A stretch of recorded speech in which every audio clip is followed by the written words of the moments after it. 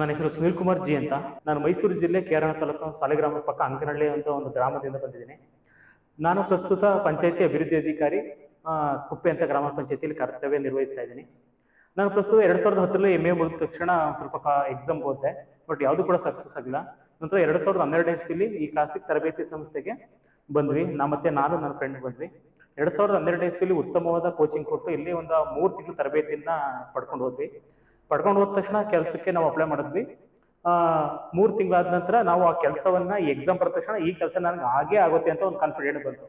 ಯಾಕೆಂತ ಹೇಳಿದ್ರೆ ಇದು ಅಂತ ಉತ್ತಮವಾದ ಕೋಚಿಂಗ್ ಅನ್ನ ಇಲ್ಲಿ ಕೊಟ್ಟಿದ್ರು. ಆ ಕೋಚಿಂಗ್ ಅನ್ನು ಪಡೆದ ತಕ್ಷಣ ನನಗೆ ಹೆಮ್ಮೆ ಅನಿಸ್ತು.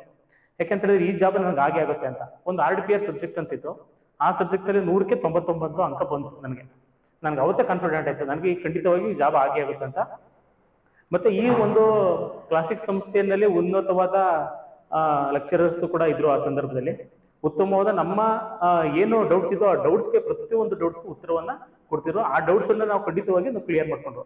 ಅದಕ್ಕೋಸ್ಕರ ಪರೀಕ್ಷೆಯಲ್ಲಿ ಉತ್ತಮವಾದ ಅಂಕ ಗಳಿಸಿ ನಾವು ಎರಡ್ ಸಾವಿರದ ಹದಿನಾಲ್ಕನೇ ಇಸ್ವಿಲಿ ಆಯ್ಕೆ ಕೆ ಪಿ ಎಸ್ ಇಂದ ಆಯ್ಕೆಯಾಗಿ ಪ್ರಸ್ತುತ ಕುಪ್ಪೆ ಗ್ರಾಮ ಪಂಚಾಯತಿ ಪಂಚಾಯತಿ ಅಭಿವೃದ್ಧಿ ಅಧಿಕಾರಿ ಕರ್ತವ್ಯನ ನಿರ್ವಹಿಸಿದ್ವು ಈ ಸಂದರ್ಭದಲ್ಲಿ ನಮ್ಮ ಕ್ಲಾಸಿಕ್ ಸಂಸ್ಥೆಯಿಂದ ರಜತ ಮಹೋತ್ಸವ ಅಂಗವಾಗಿ ನಮ್ಮನ್ನ ಬರಮಾಡ್ಕೊಂಡಿದ್ದಾರೆ ಅವ್ರಿಗೆ ಕ್ಲಾಸಿಕ್ ಸಂಸ್ಥೆ ಮತ್ತೆ ಲಕ್ಷ್ಮಣ್ ಸರ್ ಎಸ್ ಉಪ್ಪರ್ ಅವ್ರಿಗೆ ತುಂಬ ಹೃದಯದ ಧನ್ಯವಾದಗಳನ್ನು ನಾವು ತಿಳಿಸ್ತೀವಿ. ಇದೇ ರೀತಿ ಈ ಸಂಸ್ಥೆ ನಮ್ಮಂತಹ ಅನೇಕ ವಿದ್ಯಾರ್ಥಿಗಳಿಗೆ ಉನ್ನತವಾದ ಸ್ಥಾನವನ್ನ ದೊರಕಲಿ ಅಂತ ಎಲ್ಲಾ ವಿದ್ಯಾರ್ಥಿಗಳಲ್ಲೂ ಕೂಡ ಕೇಳ್ಕೊತಿದ್ವಿ. ನೆಕ್ಸ್ಟ್ ಇಲ್ಲಿ ವೀಕ್ಲಿ ಟೆಸ್ಟ್ ಮಾಡ್ತಿದ್ರು. ಈ ಸಂಸ್ಥೆಯಲ್ಲಿ ತರಬೇತಿ ಪಡೆಯಬೇಕಾದ್ರೆ ವೀಕ್ಲಿ ಟೆಸ್ಟ್ ಮಾಡ್ತಿದ್ರು. ಆ ವೀಕ್ಲಿ ಟೆಸ್ಟ್ ಮಾಡುವ ಸಂದರ್ಭದಲ್ಲಿ ನಾವು ಆ ಪ್ರಶ್ನೆಗಳು ಮುಂದಿನ ಮುಂದಿನ ಸಾಲಿಗೆ ಯಾವ ರೀತಿ ಎಕ್ಸಾಮ್ಗೆ ಪ್ರಶ್ನೆಗಳು ಬರ್ತಿದ್ವಿ ಅನ್ನೋದ್ರ ಬಗ್ಗೆ ವೀಕ್ಲಿ ಟೆಸ್ಟ್ ಅಲ್ಲಿ ನಮ್ಗೆ ಗೊತ್ತಾಗ್ತದ್ದು ಆ ವೀಕ್ಲಿ ಟೆಸ್ಟ್ ಅಲ್ಲಿ ಕೂಡ ನಮ್ಗೆ ತುಂಬಾ ತುಂಬಾನೇ ಹೆಲ್ಪ್ ಆಗ್ತದೆ ಯಾಕೆಂತ ಹೇಳಿದ್ರೆ ಬರೀ ಓದ್ಬಿಟ್ರೆ ಆಗಲ್ಲ, ಅದ್ರಲ್ಲಿ ನಾವು ಸ್ವಯಂ ಮೌಲ್ಯಮಾಪನ ಮಾಡ್ಕೋಬೇಕು ಟೆಸ್ಟ್ ಮಾಡ್ಕೋಬೇಕು. ಅವಾಗಲೇ ನಾವು ಓದಿದ್ದಕ್ಕೆ ಸಾರ್ಥ ಆಗೋದು, ಮತ್ತೆ ನಾವ್ ಏನ್ ಓದಿದ್ದೀವಿ, ನಮ್ಮಲ್ಲಿ ಏನ್ ಕೊರತೆ ಇದೆ ಅನ್ನೋದನ್ನ ತಿಳಿದುಕೊಳ್ಬಹುದು ಅದಕ್ಕೋಸ್ಕರ ಈ ಸಂಸ್ಥೆಯಲ್ಲಿ ನಮ್ಮ ಎಲ್ಲಾ ವಿದ್ಯಾಭ್ಯಾಸಕ್ಕೆ ಅಂತ ಹೇಳಿದ್ರೆ ಕೋಚಿಂಗ್ ಅನ್ನ ಕೆಲಸವನ್ನು ತೆಗೆದುಕೊಳ್ಳಕ್ಕೆ ಏನೇ ಸಮಸ್ಯೆಗಳಿತ್ತು ಆ ಸಮಸ್ಯೆಗಳಿಗೆಲ್ಲ ಪರಿಹಾರವನ್ನ ಈ ಸಂಸ್ಥೆಯಲ್ಲಿ ಕಂಡುಕೊಟ್ಟಿದ್ದಾರೆ. ಆರ್ ಡಿ ಪಿ ಆರ್ ಸಬ್ಜೆಕ್ಟ್ನಲ್ಲಿ ನಾವು ಪುಲಾನಿ ಅಂಡ್ ಪುಲಾನಿ ಅಂತ ಒಂದು ಸಬ್ಜೆಕ್ಟ್ ಎಡಿಷನ್ ಇತ್ತು. ಮತ್ತೆ ಇಲ್ಲಿ ಲೆಕ್ಚರ್ ವೀರಣ್ಣ ಅಂತ ಒಬ್ರು ಇದ್ರು. ಆ ವೀರಣ್ಣ ಅಂತ ಇದ್ದಾಗ ನಾವು ಆ ಸಬ್ಜೆಕ್ಟ್ ಅನ್ನ ಓದಿ ಅವರು ವೀರಣ್ಣ ಅವರು ಮಾಡಿದಂತ ಪಾಠಗಳನ್ನ ಪ್ರತಿದಿನ ಏನ್ ಸಬ್ಜೆಕ್ಟ್ ಇದೆ, ಏನೇನು ಆರ್ ಡಿ ಪಿ ಅಲ್ಲಿ ಬರುವಂತ ಸಬ್ಜೆಕ್ಟ್ ಇದೆ ಅದನ್ನ ಪ್ರತಿದಿನ ಓದ್ತಿದ್ವಿ.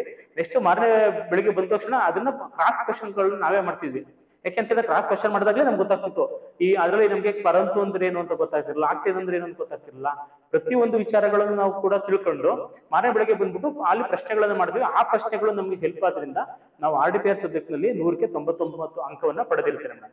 ನೆಕ್ಸ್ಟ್ ಜನರಲ್ ಸಬ್ಜೆಕ್ಟ್ ಆದಂತ ಸಂದರ್ಭದಲ್ಲಿ ಜನರಲ್ ಅಲ್ಲಿ ಇಂಥದ್ದೇ ವಿಷಯಗಳು ಬರ್ತವೆ ಅಂತ ನಾವು ಯಾರು ಕೂಡ ಊಹಿಸಲಿಕ್ಕೆ ಊಹಿಸಲಿಕ್ಕೆ ಸಾಧ್ಯ ಇಲ್ಲ.